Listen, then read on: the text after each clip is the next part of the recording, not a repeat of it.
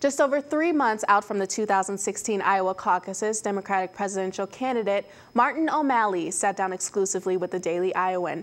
The former, former Maryland governor is one of three Democratic candidates left in the presidential race. He is campaigning against former Secretary Hillary Clinton and Senator of Vermont Bernie Sanders. O'Malley spent part of Saturday evening here at the Daily Iowan. The topic of education opened the meeting, and O'Malley addressed his policies towards both higher education and primary education.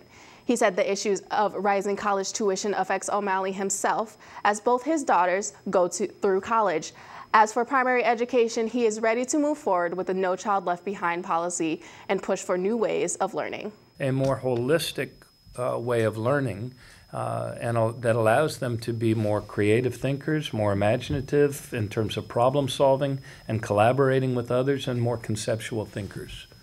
O'Malley and other candidates hold similar concerns on education, but he spoke out against fellow Democrat Senator Sanders on the issue of gun law and safety. I didn't cave with lame excuses about rural and suburban and you just don't understand sort of stuff that we've heard from Senator Sanders on this.